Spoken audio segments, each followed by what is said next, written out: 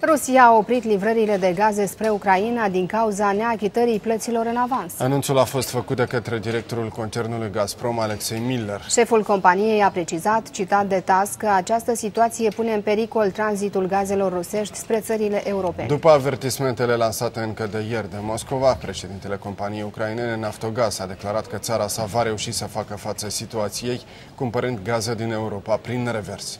De asemenea, publicația Comersant scrie că Moscova a asistat și livrarea cărbunilor spre Kiev încă de aseară. Jurnaliștii citează o sursă care a dorit să-și păstreze anonimatul. Pe de altă parte, decizia de a asista livrările de cărbune a fost luată ca răspuns la întreruperea energiei electrice primite de peninsula Crimea din Ucraina.